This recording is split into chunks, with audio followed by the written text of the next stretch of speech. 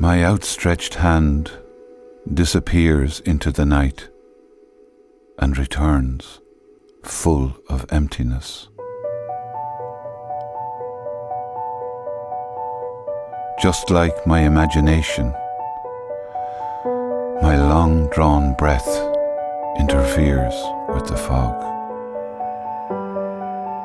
Not even the echo from a loud and hollow word in a dark and hollow cave,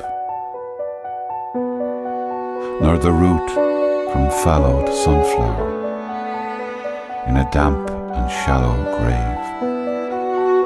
But the conversation will remain, albeit in vain.